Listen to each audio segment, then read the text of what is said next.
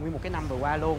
Covid tràn lan thì phải làm một cái gì đó nó gần gũi với mọi người. Sợ là đúng cái giờ mà mọi người đang tan ca mọi người phải vội về. Chợt nhớ khoảng trời những chiếc lá rơi em vẫn nếp trong anh trong lớp áo choàng. Đơn giản là nó là healing. Tâm hồn mọi người được cảm thấy được xoa dịu